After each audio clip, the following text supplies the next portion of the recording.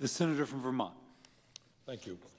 قبيل الذكرى الثالثة لبدء عمليات التحالف في اليمن وبأيام قليلة مجلس الشيوخ الأمريكي يصوت ضد قرار دعا لإنهاء مشاركة واشنطن في حرب اليمن المشرعون الداعمون لقرار إنهاء الدعم الأمريكي للتحالف وصفوا الوضع في اليمن بأنه كارثة إنسانية تتحمل مسؤوليتها السعودية ومن السعودية قبل ثلاث سنوات.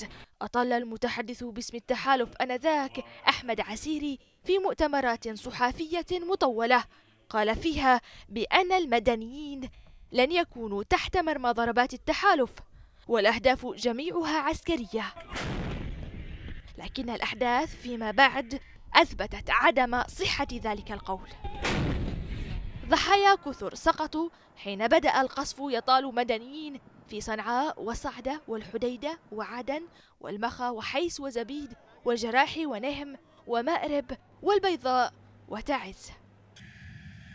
ضربات التحالف العربي طالت أهدافا عسكرية كما وعد بذلك التحالف منذ بدء عمليته باليمن.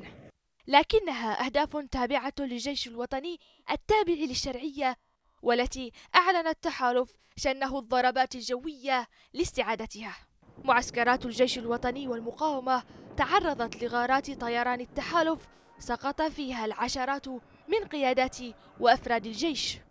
رفض التحالف في البدء الاعتراف بهذه الضربات. بعدها بررها بأنها أخطاء عابرة لن تتكرر. لكنها تكررت مرات ومرات على مدى ثلاث سنوات. ومع كل غارة تطال أهدافا مدنية تتصاعد الأسئلة حول عدم استهداف الاستعراضات العسكرية لميليشيا الحوثي في صنعاء والحديدة وتعز وفي مناطق مكشوفة وبعيدة عن الأماكن المأهولة بالسكان غير أن تلك الأسئلة تبقى دون إجابة.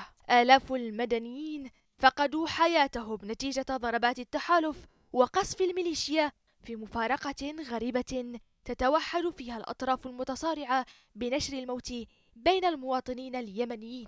مؤخرا أعلن وزير الخارجية اليمني عبد الملك المخلافي موافقة الحكومة السعودية على تشكيل صندوق لتعويض ضحايا غارات التحالف في اليمن.